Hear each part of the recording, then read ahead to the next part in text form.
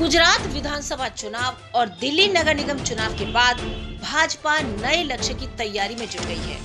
भाजपा के राष्ट्रीय अध्यक्ष जेपी नड्डा ने आगामी चुनाव पर चर्चा के लिए 5 और 6 दिसंबर को दिल्ली में सभी राष्ट्रीय और राज्य स्तर के पदाधिकारियों की विशाल बैठक बुलाई है।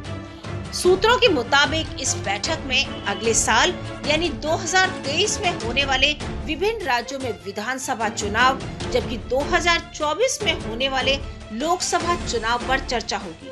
सूत्रों से मिली जानकारी के मुताबिक इस बैठक में पार्टी के सभी राष्ट्रीय पदाधिकारियों के अलावा सभी राज्यों के प्रभारी और सह प्रभारी, विभिन्न मोर्चों के प्रभारी, प्रदेश अध्यक्ष, प्रदेशों के संगठन महामंत्री भी हिस्सा लेंगे। समापन सत्र को संबोधित करेंगे पीएम मोदी।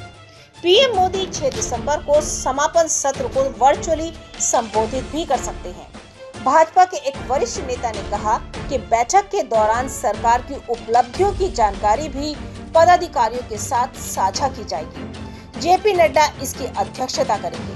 बैठक में संगठन के कामकाज की भी समीक्षा की जाएगी। तमाम बड़ी खबरों के लिए बने रहिए किन्नी टाइम्स के साथ। वीडियो को लाइक करें, चैनल को सब्सक्राइब करना ना भूलें।